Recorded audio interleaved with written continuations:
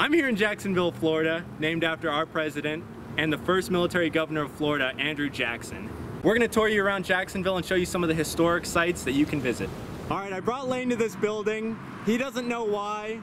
I'm sure a lot of you don't know why, but Lane, looking at the building, what do you think this place is? Some sort of Hispanic fooderia. It is indeed. Can you guess, do you have any guess as to why I brought you here?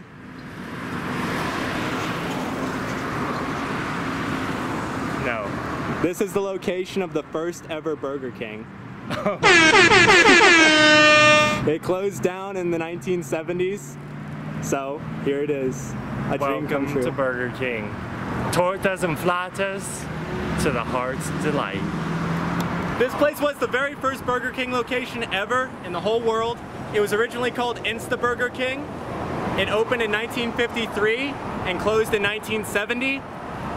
After it opened, Burger King moved most of its operations to Miami where it's still headquartered today. So this one fell out of use pretty much. Then it became Stan's Sandwich Shop and now it's this Mexican restaurant. If you want to visit, the address is 7156 Beach Boulevard. I'm here at Fort Caroline, situated on the St. John River. This is a French Huguenot colony founded in Florida in 1564, which is one year before St. Augustine was founded. This was ransacked by the Spanish in 1565 and completely destroyed. They left the women and children, but they killed almost every man. What's it called? Fort Caroline. Sweet Caroline. Dun, dun, dun. So, along with this being a competition of the Spanish versus the French, these were also French Huguenots. So it was a matter of Protestants versus Catholics. So the Spanish thought these people were heretics. So it was obviously never going to work. It was it was imperial uh, it was imperial interest and also religious interest at play. Look at the fish and the crabs. Animal Planet. This is it. Eat your heart out, animal lovers. So during the time of the attack in 1565, this fort was basically operated by a skeleton crew. And the Spanish soldiers came when both a Spanish fleet and a French fleet were going to reinforce their forts.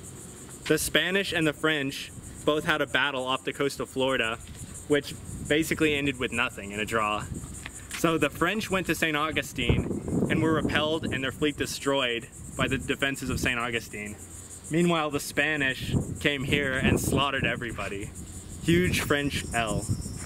As you can see, there's cannons right here to represent the original settlers of Florida and their military history. And directly behind you, there is a giant United States Navy base. From what I understand from Justin, the expert here, this is actually the third, Third largest, largest, naval Navy base, by personnel in the United States.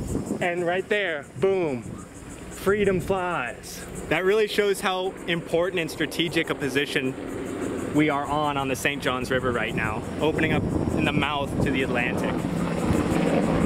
Right. So that's pretty interesting. They actually have a list and names of all the people killed at this fort.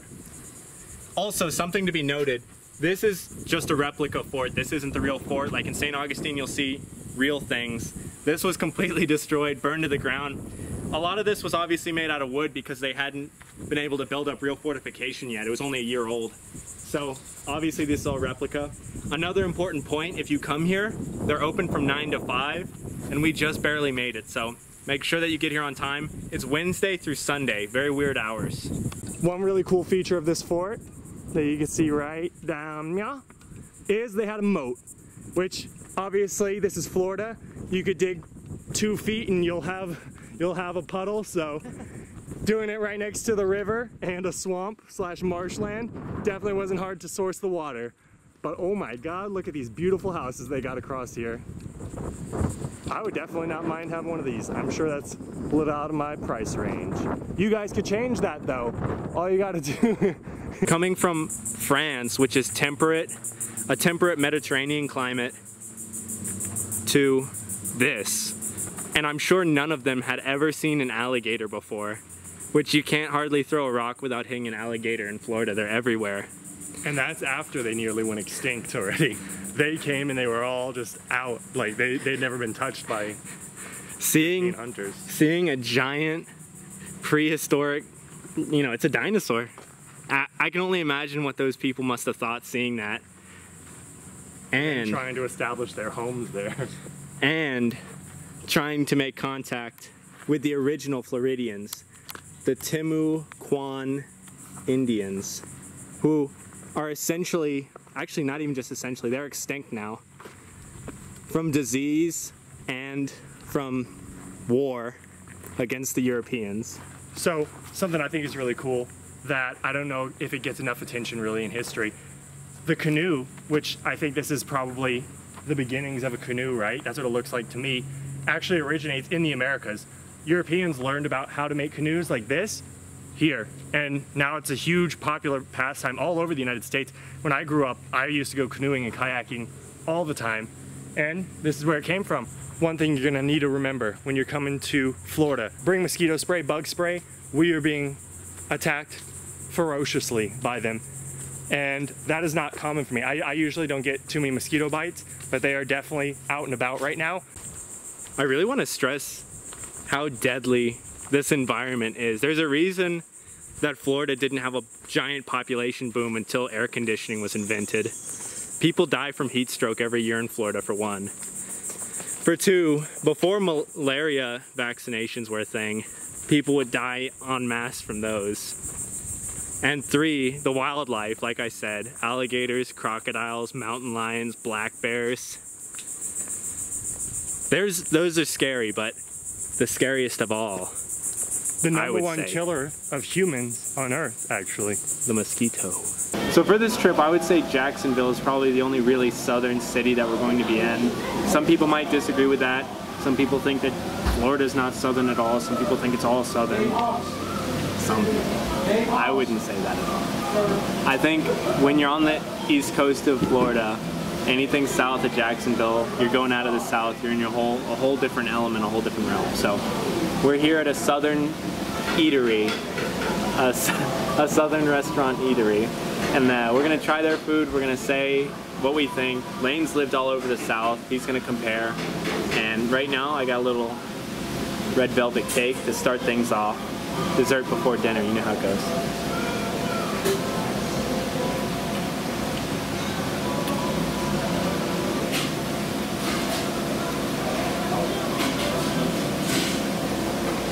As DJ Khaled would say, this is the best music. this is really good. This is really good red red velvet cake. I'm not even gonna lie. It's really spongy. It's dense, but it's moist. It's a very moist, dense, spongy cake. Really good flavor. The sweetness just hits you in the mouth, and I like the nuts. Anybody who's ever been to the American South knows there's three ways to know if you are in the South. One, sweet tea. Two, lemonade. Three, macaroni and cheese. I throw grits in there, but that's just if it's on the menu. It doesn't even have to be that good. So, I got sweet tea and I got the lemonade. This is cherry limeade, so a little little out there, but still I have high expectations. So let's see if we are currently in the South.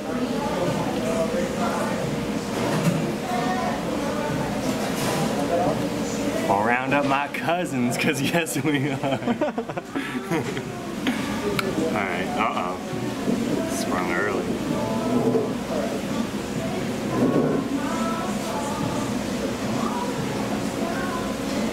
I don't think it does. This tastes like it's got alcohol.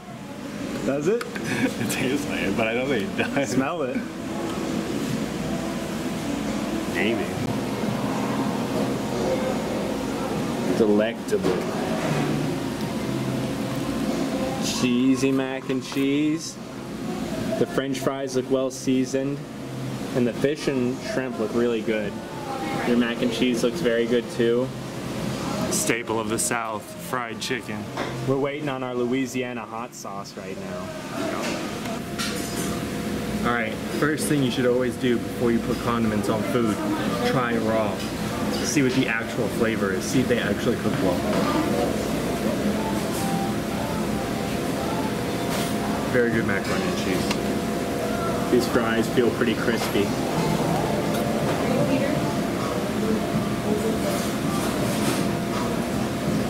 I'll be honest, this is maybe the best fried chicken I've ever had. I really do think this is better. Like, so if you can picture uh, KFC, it's like that, but then even richer flavors, and it's like perfect crunch. It's this is this is like perfect. This is peak fried chicken. It's really important to note that they cook this to order. This was made fresh. It's searing hot. It's piping hot. They just took this out. It's fresh, fresh. We tried Sweet Mamas in Jacksonville, Florida. What do you think? Really good place. It qualified Jacksonville as the South. Definitely recommend you try it if you're out here. If you're visiting Florida and you want to actually try Southern food, you got to make the hike north. You got to come up here. You got to. I, I don't know if it's going to be better down further, but it's definitely good here, and I can vouch for that. That's going to be it for Jacksonville. See you guys at the next place. Don't forget to like and subscribe. Comment down below. Goodbye.